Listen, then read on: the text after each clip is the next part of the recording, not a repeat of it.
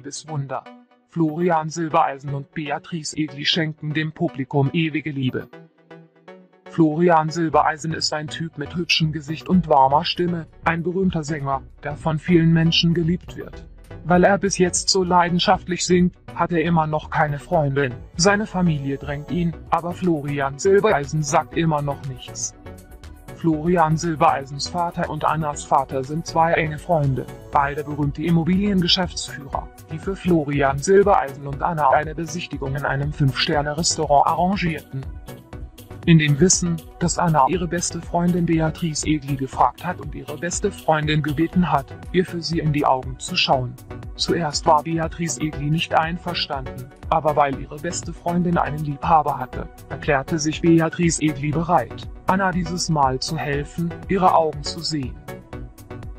Da Beatrice Egli nur eine kleine Büroangestellte ist, hat Anna ihre Einkäufe und ihr Make-up für dieses Treffen übernommen. Beatrice Egli ist dieses Mal ein bekanntes, rustikales Mädchen, das Make-up trägt, an das sie sich nicht gewöhnt. Als sie zu dem Date kam, fand sie heraus, dass das Treffen ihrer Freundin dieses Mal mit einem berühmten Star stattfand. Als sie sich zum Treffen mit Florian Silbereisen an den Tisch setzte, stellte sich Florian Silbereisen vor und sagte, er habe kein Interesse an ihr und komme nur, wie sein Vater es gesagt habe. Dann bestellten die beiden zusammen Essen und aßen höflich zusammen. Laut ihrer besten Freundin versuchte sie, sich wie ein Playboy zu benehmen, gemein, frech, sexy, sexy, damit er sie hasste. Doch diese Aktionen wurden von Florian Silbereisen durchschaut, er sagte aber nichts und ließ sie agieren.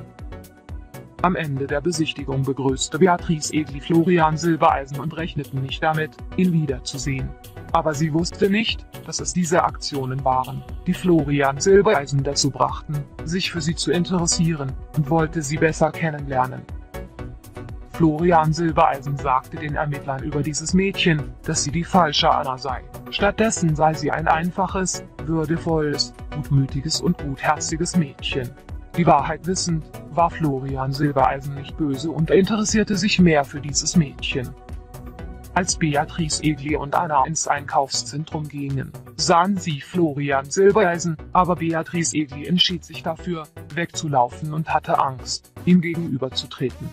Florian Silbereisen sah sie und jagte ihm hinterher, verriet immer noch nicht die Wahrheit, ließ sie aber trotzdem vor sich hin agieren, er lud sie zum Essen ein.